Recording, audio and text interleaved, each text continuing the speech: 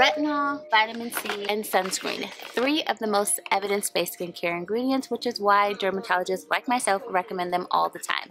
But how do you know if the skin products that you're actually using are science-based and backed by evidence, or if it's just good skincare marketing and gimmicks? And no, medical grade or clinical grade products are not necessarily backed by science or evidence-based. Yes, there are some fantastic medical grade products, but not all of them. So don't let that term medical grade or clinical grade make you think that somehow it is backed by science. That is simply a marketing term. It does not mean anything. It is not regulated by the FDA. There's no standard regulations, rules, or protocols that a product has to follow in order to be medical grade. So just like there are some fantastic over-the-counter products that have a lot of research and development behind them, there are also some fantastic medical grade products. And sometimes the over-the-counter products actually have more R&D or research and development behind them than the medical grade products. Truth be told, there's a lot of misinterpretation of science or pseudoscience and false claims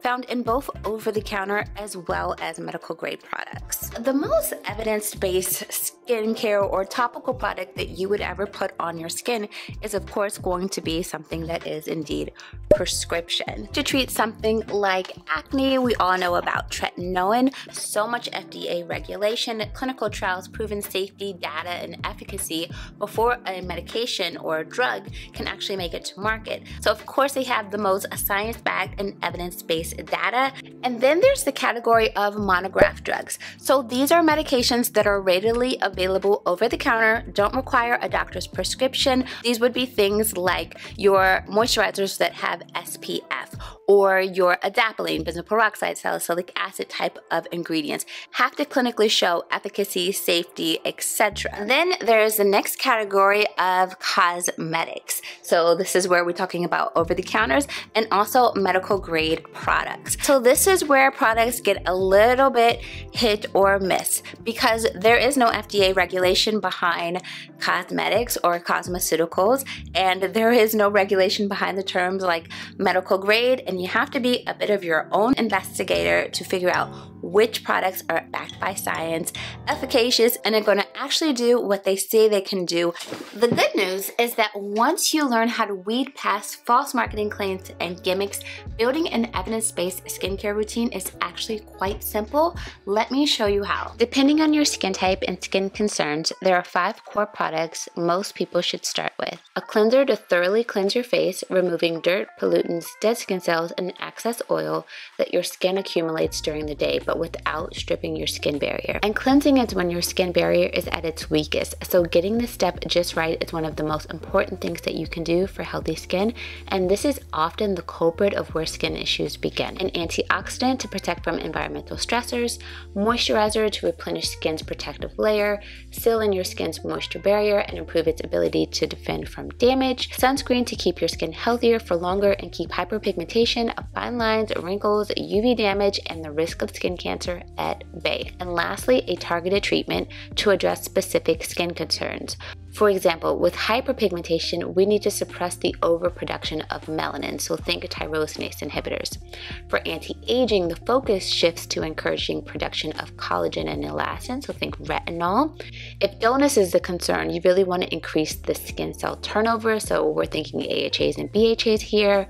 For acne, we would focus on products that are proven to help with acne, so adapalene, benzoyl peroxide, salicylic acid, etc. We often focus on which active can help help us solve certain skin conditions, but the integrity of your skin barrier should always come first. You're going to be so much more successful trying to clear acne or hyperpigmentation if you're not working with a damaged or weakened skin barrier. Here are the guidelines that I like to use when I'm assessing products to deem whether or not it is evidence or science-based. Step one, look for scientific studies. We want to use products that have sufficient levels of good quality evidence that they actually work. This means that the product has been subjected to rigorous testing to ensure its safety and efficacy. Look for products that have been tested on a diverse range range of individuals, as this will help ensure that the product is effective for a wide range of skin types. Too often, these big reputable companies do not include those with skin of color in their studies.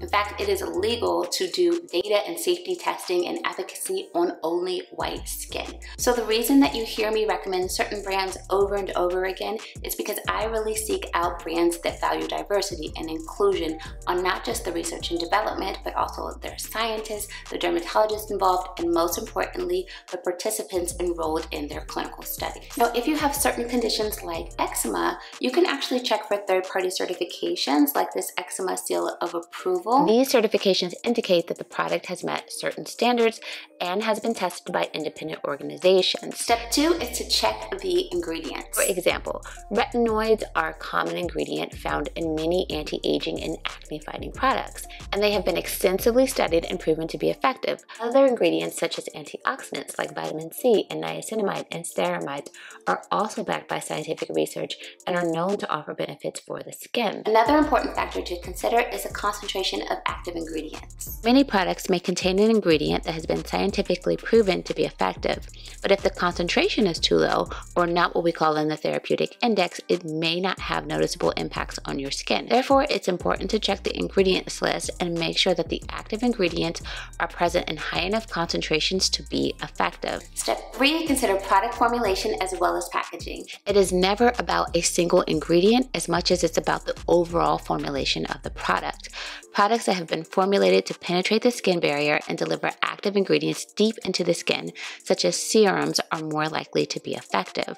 Step four, which is definitely the most subjective, which is do I trust the brand in regards to their safety, their stability, and their quality of data? Because unfortunately, technology is just not listed or described on those list of ingredients. This is why two ingredients sourced from different manufacturers can yield completely different outcomes. Keep in mind that if even the most evidence-based quality skincare ingredient is not aligned with your skincare goals, it's not the right product for you. And remember that if a product seems too good to be true, it probably is. Watch watch this video here to make sure that you're using the right retinol for your skin type. Thanks so much for watching. Be well.